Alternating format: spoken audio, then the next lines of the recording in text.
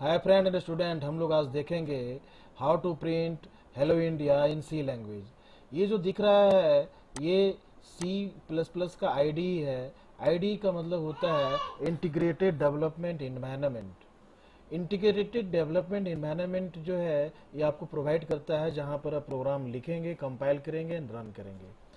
हम सबसे पहले क्या करेंगे? फ़ाइल ऑप्शन में जाएँगे। न्यू फ़ाइल ओपन करेंगे। अल्ट डब्लू के कॉम्बिनेशन से जेड प्रेस करेंगे। जेड से हमारा ये जूम हो जाएगा।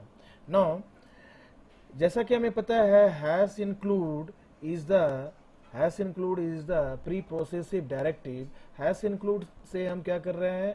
Studio dot H header file को ओपन कर रहे हैं।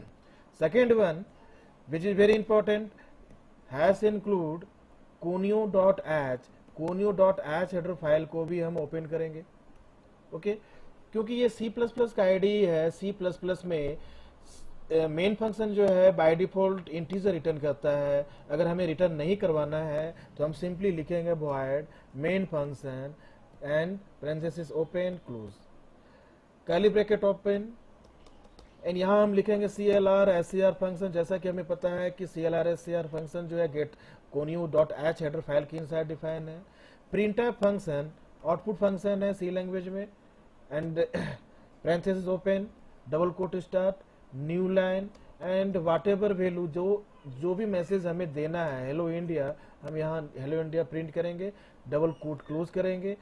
पैरेंथेसिस क्लोज करेंगे and semicolon semicolon is the end of statement ये टर्मिनेटर के नाम से जाना जाता है? In a C language and ultimately, get ch get ch is the function which is used to get a single character from the keyboard. Okay? Curly bracket open था. Main function का curly bracket अभी close कर देंगे. Now alt के combination से alt C करेंगे. Compile होगा ये. एंड अल्ट के कॉम्बिनेशन से अल्ट आर करेंगे. ये रन हो रहा है. Now you are having output output दिख गया. फिर से रन करके देख रहे हैं आउटपुट दिख रहा है हमारा, ठीक है? नाउ अगर हमें सेव करना है तो अल्ट ऐप से सेव के ऑप्शन में जाएँगे। सेव सेव एज दो ऑप्शन है। हम सेव ऑप्शन में जाएँगे।